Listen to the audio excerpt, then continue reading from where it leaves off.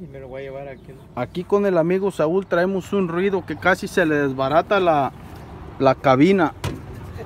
Y llegó con un con un pinche bungee. A ver. Vamos.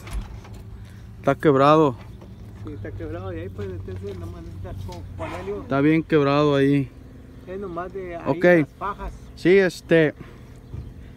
ah, lo voy a, voy a agarrar el VIN number y vamos a ordenar uno de la Freightliner para reemplazarlo.